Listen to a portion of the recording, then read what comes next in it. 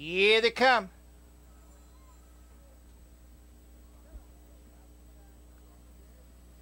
They're off. An outside leave there. Genius Hanover and Chicago Jazz came away well on the outside. Cafe Racer along the rail. Knight's Journey they look for position. Chicago Jazz gets the lead.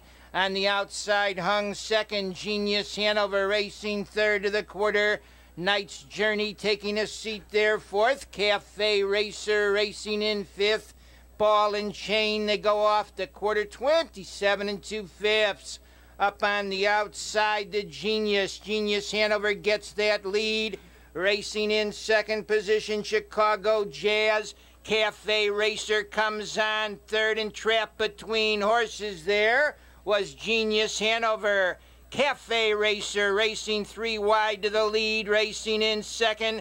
Genius Hanover in third as they go to the half mile pole on the rail. Chicago Jazz Ball and Chain moves up fourth, racing fifth. Knight's Journey Rain Dance Thunder sixth. Falcon Dakota into the action seven. Double Deckard Cafe Racer head and shoulders. Ball and Chain gains ground second.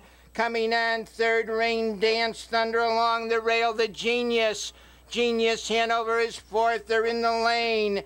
On the front end, moving up on the outside, Ball and Chain gets that lead. On the outside, Rain Dance Thunder is second. Cafe Racer now third. Falcon Dakota is cooking up a brew in the middle of the track.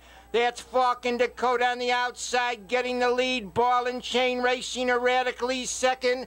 In third, Woolly Bully, but Falcon Dakota is going to take it all here. Falcon Dakota leads it. It's going to be tight for second. Ball and chain over Woolly Bully.